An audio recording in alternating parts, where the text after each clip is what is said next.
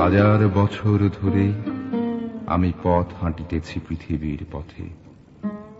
সিংহল সমুদ্র থেকে নিশীথের অন্ধকারে, মালয় সাগরে অনেক ঘুরেছি আমি।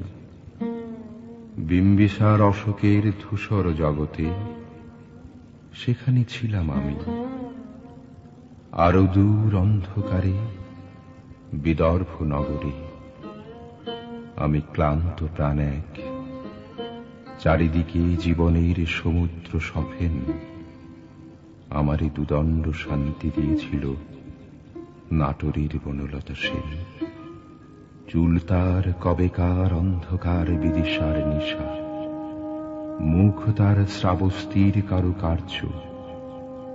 অতি দূর সমুদ্রের পর হাল ভেঙে যে নাবিক হারায়েছে দিশা সবুজ ঘাসের দেশ, যখন সে চোখে দেখে দারুচিনি দ্বীপের ভিতর, তেমনি দেখেছি তারে অন্ধকারে।